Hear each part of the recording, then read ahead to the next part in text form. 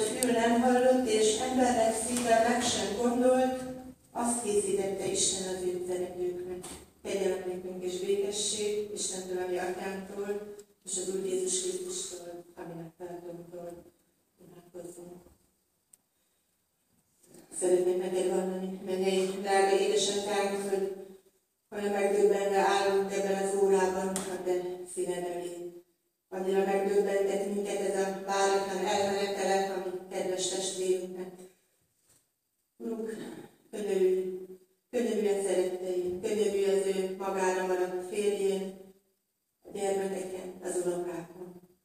Köszönjük, hogy hihetjük, hogy a mi testvérünk te nálad van, mert befogadott téged az ő szívébe, légy áldott érted. És kérünk téged, Urunk, hogy emelj fel minket. Ne csak a láthatókra nézzünk, hanem a láthatatlanokra te rád. Köszönjük, hogy te minden bölcsen intézel, akkor is, ha olykor mi nem értjük, akkor is, ha megdöbbenve állunk olykor egy-egy elmúló élet mellett, Hadd meglátnunk, hogy Te minden bölcsen intézel.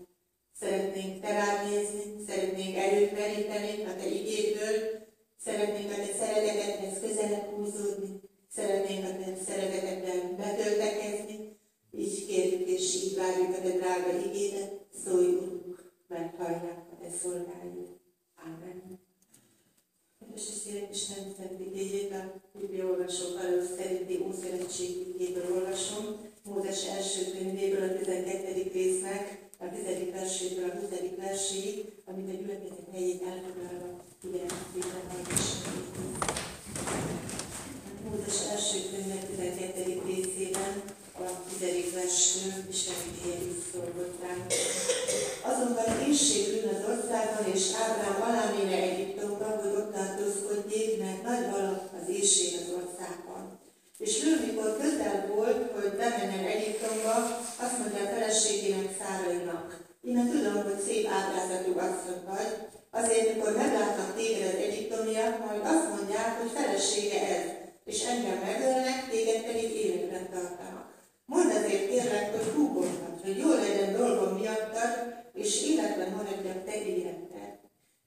És mikor Ábrám Egyiptomba érkezik, látták az egyiptomiak az asszonyt,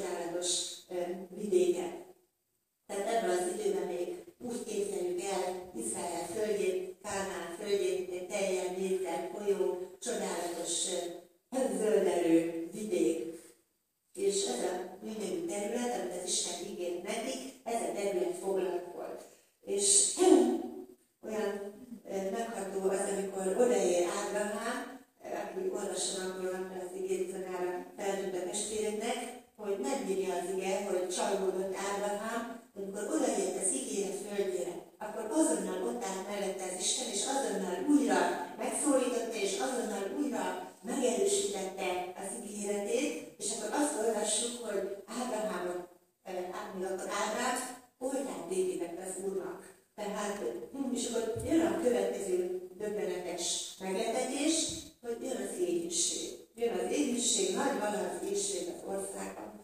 Most egy, óriási vizsga előtt áll Ábrahám, és sajnos ezen a vizsgán Ábrahám, vagy Ábrahám ott akkor megbukott. Látja azt, hogy az ott lakó kánályi népek, nyilván az állatok is hullottak el az éjség miatt, egyre többen menekültek, mentek Egyiptom felé, és azt olvassuk, hogy ő is elkezdett délen húzódni. És ugye Akkor a világnak a gaboraraktára volt, olvastam, hogy a vírus áradása folytán valami hihetetlenül termékeny, csodálatos búzaföldek, gabonaföldek voltak Egyiptomban, és a világon nem volt olyan e, csodálatos ásványi anyagokkal, vitaminokkal gazdag kenyér, gabona, mint éppen Egyiptomban. Tehát ő emberileg egyébként logikus volt, emberileg érthető volt, hogy nyilván felelős volt a családjáért, felelős volt a szolgáért, emberileg úgy tűnik, hogy érthető, hogy Ábrahám is megy le az éjség előtt Egyiptomba, csak hogy és tényleg az a baj, hogy Ábrahám úgy indult el, hogy nem kérdezte az urat. Pedig az Isten neki megígérte, hogy eltartanak. És tudjuk azt, hogy, hogy Egyiptom mindig a bűnnek a jelképe volt. Az egész szentírásra végighúzódik Egyiptom, mint a bűnnek a jelképe. Tehát Ábrahám úgy ment el Egyiptomba, hogy Isten megkérdezése nélkül. És én azt gondolom, hogy a mi hívő életünkben is akkor jönnek a problémák, akkor jönnek a bajok, amikor életünk egy-egy akár kicsi, akár nagy dolgát, nem az Istentől kérjük el. Amikor a magunk eszet szerint, a magunk emberi logikája szerint cselekszünk, általában akkor tévedünk el. Ugye a Róma 14-23-ban ezt olvassuk, hogy ami pedig hitből nincs, bűn az. Tehát óriási lehetőséget hívő embernek, hihetetlen ajándék ez nekünk testvérek, hogy kérdezhetjük az Urat. Akár a család, családi problémákban, akár munkahelyváltáskor, akár milyen probléma, próbatétel közepette oda állhatunk az Úr elé, hogy mit akarsz Uram, hogy cselekedjem a hívő embernek egy csodálatos lehetőséget. És bizony, nem is beleesünk nagyon sokszor ebbe a csapdába, amiben Ábraham belesett, hogy, hogy elkezdünk félni, elkezdünk aggodalmaskodni, csak a láthatókra nézünk, és úgy gondoljuk, hogy az Isten, aki idáig hordozott minket, az az Isten már ebben a problémában nem tud segíteni, ebben a problémában most az Isten félrefordítja a fejét, és általában ilyenkor jönnek a kudarcok, és ilyenkor jönnek a bukások. Nagyon komoly kérdés ez az életünknek, hogy amikor nehezek jönnek az életünkben, amikor próbák jönnek, akkor odaállunk el az Isten elé, és kérdezzük el, hogy Uram, mit akarsz, hogy cselekedjen? Adjál nekem egy igét, adjál nekem egy biztatást, egy bátorítást, jobbra lépjek, vagy balra lépjek. És hiszem, hogy testvérek és a tapasztalatom azt mutatja, hogy Isten mindig megmutatja. Lehet, hogy az utolsó pillanatban, lehet, hogy kivál, de mindig megmutatja a következő lépést. Tehát akár pénzkérdésről van szó, akár a családi problémákról van szó, betegségről van szó, bár akár miről van szó, lehet egy hívő embernek odaállni, és lehet kérni az ő vezetését, az ő igény útmutatását. Úgyhogy végig gondolva Ábrahám életét, vagy Ábrahám életét, nem is lehetett neki olyan könnyű. Gondoljuk el, hogy azt látja, hogy hullanak az állatok, hullanak az emberek, felütötte fejét az éhínség, és, és bizony, amikor várakozik az ember, akkor bizony megroppan olykor, még a hívő embernek a hite is megroppan, és, és, és felteszi magának az ember a kérdést, hogy csak ugyan azt ígérte az Isten, nem hallottam félre az Istennek a szavát, nem akarom belemagyarázni a dolgokat. Én azt gondolom, hogy minden életében voltak már próbatételek, voltak nehezek, voltak nehéz napok, és, és bizony, amikor Isten várakoztat minket, hát ez nem olyan, nem is olyan könnyű, nem is olyan egyszerű dolog kivárni. Kivárni, mert mi olyanok vagyunk, hogy szeretnénk magunk kézbe venni az életünknek az irányítását, úgy gondoljuk, hogy majd mi, majd mi tudjuk, hogy hogy kell cselekedni, majd mi tudjuk, hogy, hogy hol kell protekciót keresni, mi tudjuk, hogy mit kell csinálni. Tehát Isten beleenged minket kísértésekbe, beleenged nehezetbe, egyszerűen azért, hogy már ki, nem az Isten számára, mert ő ismer minket. A saját magunk számára derüljön ki, hogy hol tart a mi hitünk. Mit bízhat ránk az Isten? Ránk bízhat nagyobb feladatot, mint amit addig elláttunk. Isten mindig megpróbál minket. Mint ahogy mi meg egy cipőt, bemegyünk a cipőboltba, és nem veszünk meg láthatnám egy cipőt, hanem először megpróbáljuk. Kiállálunk erre, de az Isten is így van velünk, hogy megpróbálja próbatételekkel, a nehezekkel a hitünket. Tehát Ábrahám, mintha nem hitte volna azt, hogy Isten Úr az éjség felett is. És csak ugyanígy van testvérek, hogy sokszor az Isten jóval többet ad, mint amit mi el tudunk gondolni. Úgy belegondoltam, a napokban történt, ha nekem valaki korábban azt mondta volna, hogy egy-két évvel ezelőtt, hogy új parókia fog épülni, biztos, hogy nem tudtam volna el. És testvérek, hogy mondjam el, hogy csütörtökön kijött a püspök úr, szétnézett, bejárta a parókiát, minden egész zugát, látta a tevészes falakat, látta, hogy nincs szigetelve, tudja ugye, hogy, hogy miből épült, elmondtuk neki, miből épült, és felvállalta. A püspök úr felvállalta az egyház kerület pénzéből az új parókiának a felépítését. Azt mondtam, hogy ha ezt nekem valaki két-három évvel ezelőtt mondta volna, ez lehetetlen. Ilyen nincs. De van. Az Istennek ekkora határa. Az Istennek mondja van erre gyülekezetre, mondja van arra, hogy, hogy, hogy a, az, a, a következő lelki pásztorok, hogy jól érezzék magukat, hogy ne fadoskodjanak, ne pázzanak. Mint ahogy mi ugye 25 éven keresztül nem lehetett kifűteni a parókiát, mert betonból vannak a falai. Tehát olykor igen, Isten többet ad, mint amit gondolunk. Tehát emberileg egyébként nagyon hasonlítunk mi is Ábrahámra, hiszük mi az Urat, meg hiszük az ígéretet is, de bizony, amikor, amikor, amikor jön egy baj, jön egy próbatétel, akkor mi is betánikolunk, hogy jaj, most mi lesz, jaj, most hogy lesz, hát ha most éppen elfordítja a tekintetét az Isten, és hát ha éppen most nem fog segíteni. Testvérek, az is kiderül ebből a történetből, hogy milyen következményei vannak annak, hogyha a hívő ember leveszi a tekintetét az Úrról, ha magunk veszünk kezünkbe a dolgoknak az irányítását, ugye? E, miután letér az Isten útjáról Ábrám, azt olvassuk, hogy belekeveredik egy hazugságba. Olyan döbbenetes a félelem, hogy a félelem milyen nagy úr, hogy olykor a félelem, mintha nagyobb úr lenne az Istenért. Azt olvassuk, hogy azt mondja a feleségének, hogy mikor azért meglátnak az egyiptomiak, majd azt gondolják feleségehez, engem megölnek, téged pedig életben tartanak.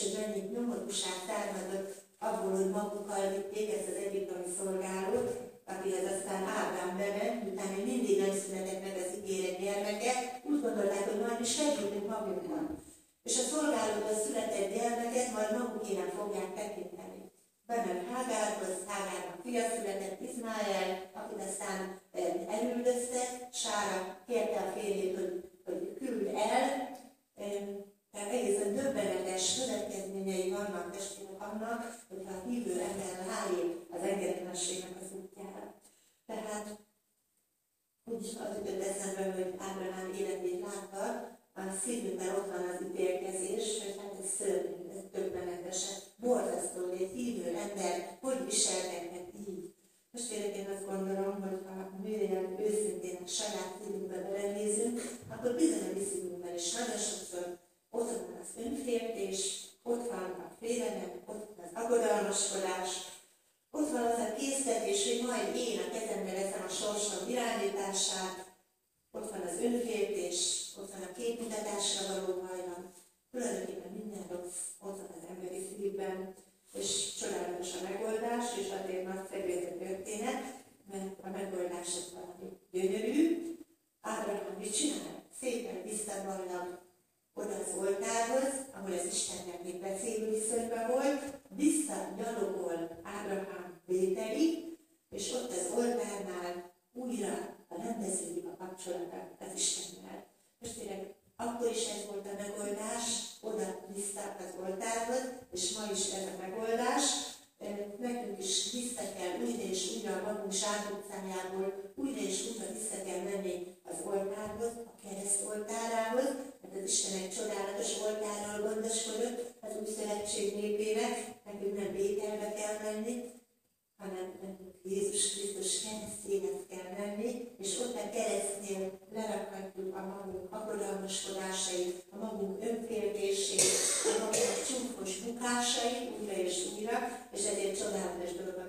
a megterített úrasztala, hogy újra és újra visszajöttünk a zsákutcából, és újra és újra oda mehetünk, ahhoz a türelmes Istenhez, aki újra és újra kész megbocsájtani, és és valójában ezért állt a Golgotai kereszt, és tényleg ezért kellett az Úr Jézusnak meghalni, mert semmivel nem vagyunk különbek Ábrahámnál, és a legkülönbek szívében is ott van a bűn, akár Noénak az életében, ahogy ott Ábrahámnak az életében, és nekünk sincs más menedékünk, csak az oltár, a kereszt oltára, és csodálatos az, hogy az Úrral való kapcsolatunk ott az oltárnál újra és újra rendeződnek, és újra és újra kiülhetünk a zsákutcából, az engedetlenségnek az utcájából, újra és újra rátérhetünk az engedelmességnek az útjára.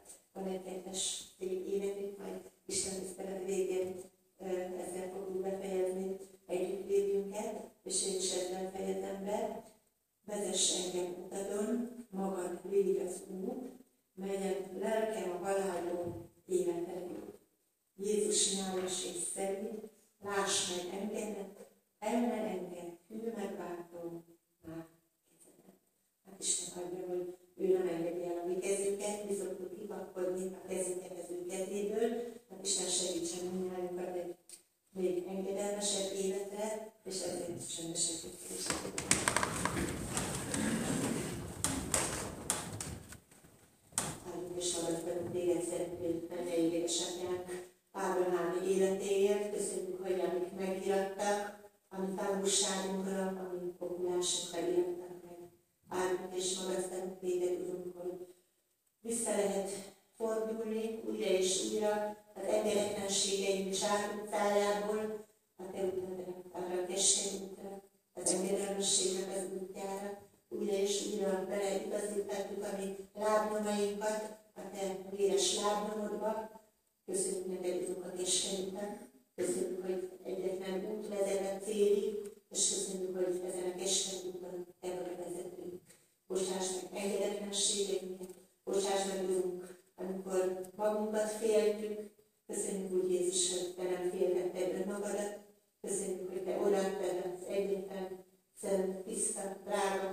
hogy életedet, azért, hogy nekünk életünk legyen, azért, hogy nekünk bocsánatunk legyen.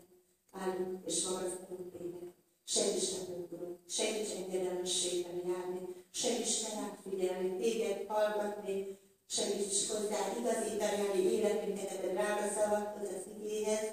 Így kérünk, hogy áld meg minket, amin a Ábrahámot megáldottad, kérünk, hogy tégy minket is áldássá, lelkedet úgy várjuk, tette el szívünk hálássá, hogy néked szolgálunk. A te rendeletét kérünk, hallgass akkor is, amikor a tőle tanult imádságod elmondva, így imádkozunk te hozzád, együttesen, hogy imádkozunk. Ki vagy a rendetben, szenvedességben a neved, és jöjjön az országon, legyen a te akaratod, mint a mennyben, úgy a is, a minden kenyerünket we show